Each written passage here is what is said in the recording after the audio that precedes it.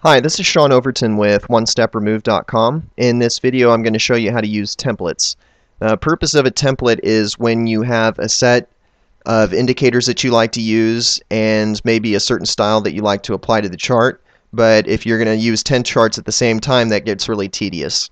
If you save it as a template, you can only do it once, and then it's a double-click process to put the same settings on different charts. Let me show you how to do it. Open up MetaTrader, go to File, New Chart, and choose any currency pair.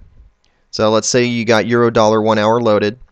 It starts out as black with these green bars, which personally I find ugly. So I can change it by right clicking, and then I can go to colors and change the color scheme to black on white. I think it's a little easier on the eyes, but I'm not done yet. Now I like to have candlesticks, so I go to the top of the screen and choose candlesticks, and then I like to zoom in a bit so I can see the more recent price action. Now I can add my indicators. So I scroll over to the right and I choose the indicators I like. We'll start with the most common, which is a moving average.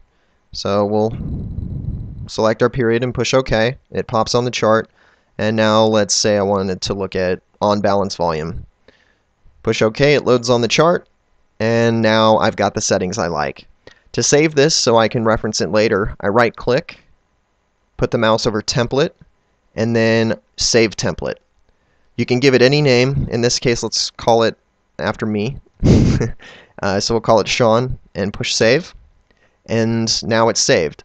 You should notice the location, the name of, or the location of the template is C colon, program files, and then the name of the broker you're using, and then templates. And you can find all the templates in there.